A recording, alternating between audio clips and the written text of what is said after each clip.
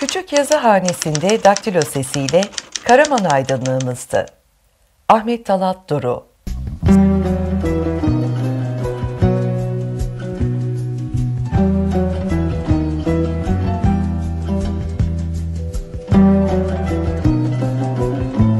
Son nefesine kadar daktilonun tuşlarına dokundu parmakları.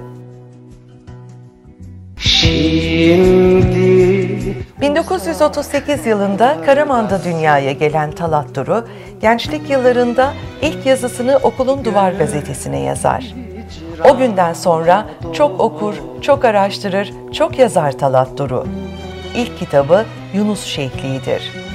Talat Duru, toplumsal hafızamıza derin izler bırakan önemli bir arşivciydi aynı zamanda.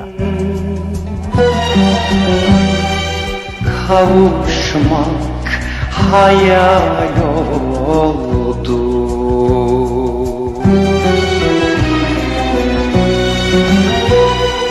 Belge ve fotoğraf arşivi merakı için bir konuşmasında şöyle der. Şimdi bir kişi ölünce ona ait ne varsa onunla yok olup gidiyor. O yüzden mendil çıkısındaki fotoğrafları toplamak, bir araya getirmek istedim.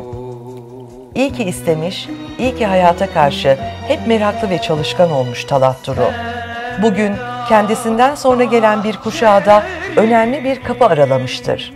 Ve takvimlerden bir aralık günü aramızdan ayrılmıştır.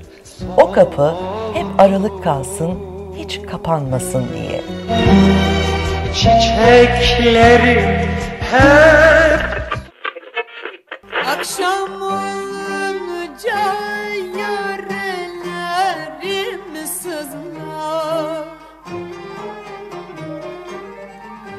Derdim çoktur değmeyin bana kızlar. Bu derdime şahit olsun yıldızlar. Yeter Allah'ım çektiğim ah yeter ayrılık bana ölümden beter. Yeter Allah'ım çektim of yeter.